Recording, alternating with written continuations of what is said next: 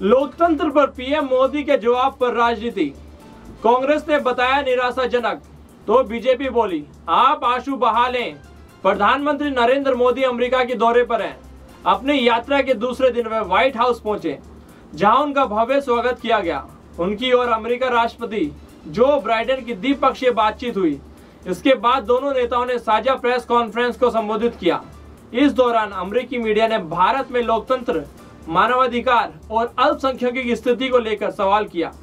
इस पर पीएम मोदी ने करारा जवाब दिया। कहा कि मुझे आश्चर्य हो रहा है कि आप कह रहे हैं कि लोग कहते हैं। लोग कहते ही नहीं, बल्कि भारत लोकतंत्र है। इसके बाद ही भारत की राजनीतिक गलियारों पे वार पलटवार का खेल शुरू हो गया।